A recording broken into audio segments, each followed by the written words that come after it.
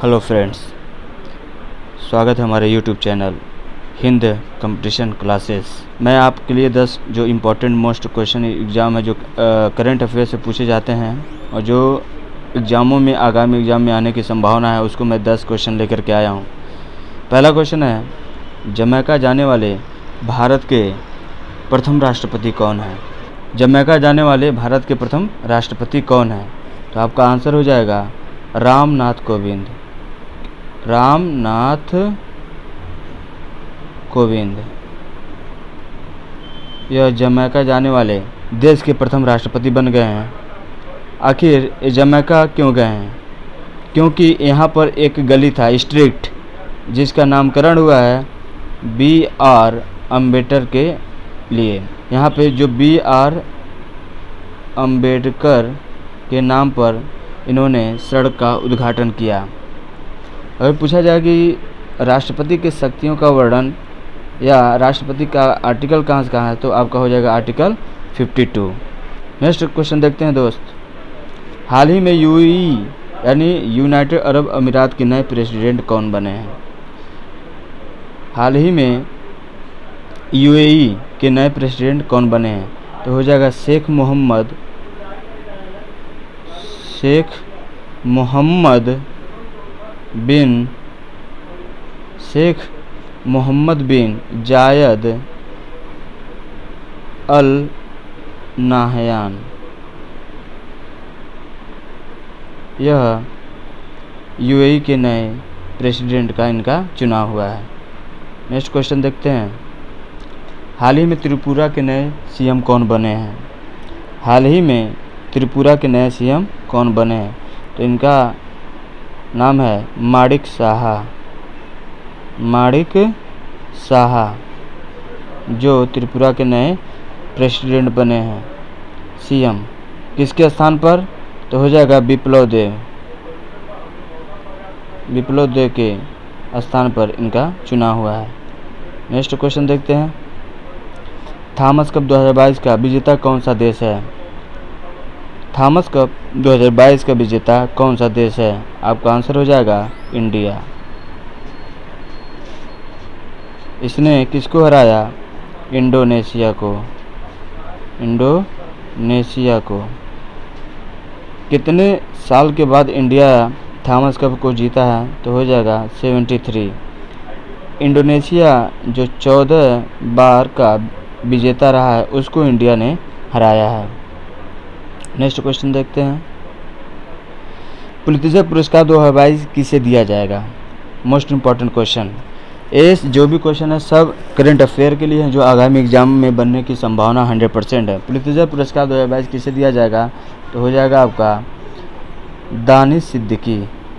दानिश सिद्दीकी। पुलितिजर पुरस्कार 2022 किसे दिया जाएगा? तो हो जाएगा दानिश सिद्दीकी। ये पुरस्कार 2018 में भी इनको दिया गया था। 2018 का भी पुलितजा पुरस्कार से नवाजे गए थे दानिश सिद्दीकी और 2022 का जो चुनाव है, यानी कि पुलितजा पुरस्कार के लिए दानिश सिद्दीकी को दिया गया। यह कौन सा देश देता है? तो यह देता है यूएसए। इसकी शुरुआत कब से होती है? 1917 से। इसकी शुरुआत होती है 1917 से इसको कितने कैटेगरी में दिया जाता है? इसको 21 कैटेगरी में दिया जाता है। इसको 21 कैटेगरी में दिया जाता है। 20 में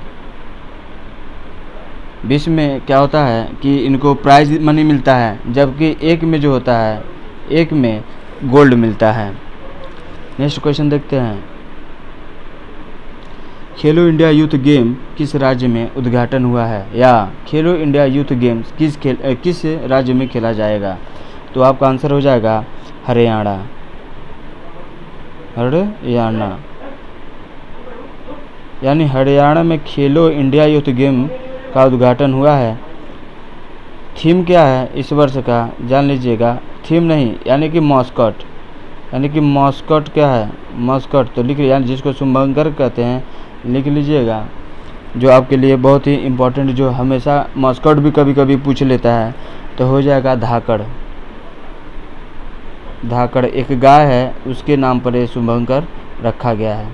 नेक्स्ट क्वेश्चन देखिए। वर्ल्ड रेड क्रॉस डे ये बहुत बार एग्ज़ाम में आया है। कई बार पूछता है वर्ल्ड रेड क्रॉस डे किस तारीख को मनाया जाता है? तो ये आपका आंसर हो जाएगा आठ मई को।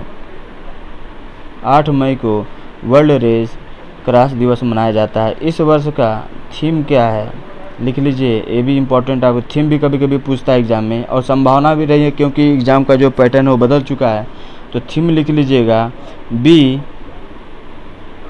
ह्यूमैन बी ह्यूमैन काइंड, जो इस वर्ष का थीम है, ये आपके लिए जानना बहुत ही इम्पोर्टेंट है। नेक्स्ट क्वेश्चन देखिए। भारत की पहली जनजाति स्वास्थ्य वेधशाला की मेजबानी करने वाला भारत का पहला राज्य कौन सा बना है? ये भी बहुत इम्पोर्टेंट है। जो भारत की पहली जनजाति स्वास्थ्य वेधशाला की मेजबानी करने वाला पहला राज्य कौन बना तो वो हो जाएगा आपका आंसर उड़ीसा कौन सा राज्य? ये उड़ीसा ये हमारे देश का पहला राज्य बना है। नेक्स्ट क्वेश्चन देखिए। Gene bank. Gene bank Bharat का पहला बैंक बन गया है, जो किस राज्य में खोला गया है? तो आपका आंसर हो जाएगा महाराष्ट्र।